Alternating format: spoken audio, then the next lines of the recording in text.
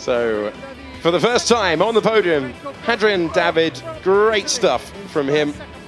Bon Adrien, tout d'abord, euh, félicitations pour ce premier podium. C'est quelque chose que tu attendais avec impatience, hein, je suppose. Effectivement, ouais, merci beaucoup. Euh, C'était euh, une saison compliquée. Euh, et ça fait du bien d'avoir ce podium enfin.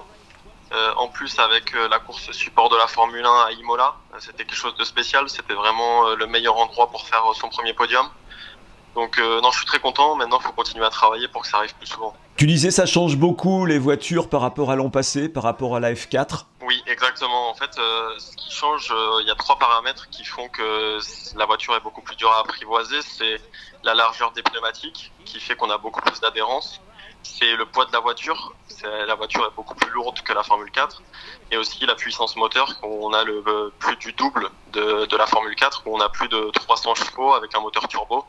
Donc euh, ces trois paramètres font que la voiture est plutôt dure à, à, maîtriser et c'est pour ça que voilà ça a pris quelques quelques courses avant de monter sur le podium mais je suis très heureux d'avoir euh, concrétisé ça euh, à Imola.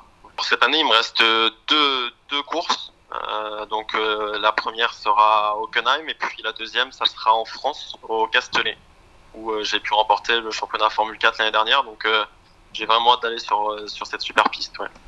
Bon, tu n'as pas bu beaucoup de champagne hein, parce qu'il restait pas grand-chose dans la bouteille là. On, on vous a vu secouer les bouteilles, euh, la tradition euh, du sport automobile. Je suis, en- je suis encore mineur donc euh, le champagne mon père aurait pas été très content quoi. Ok, merci beaucoup Adrien, merci.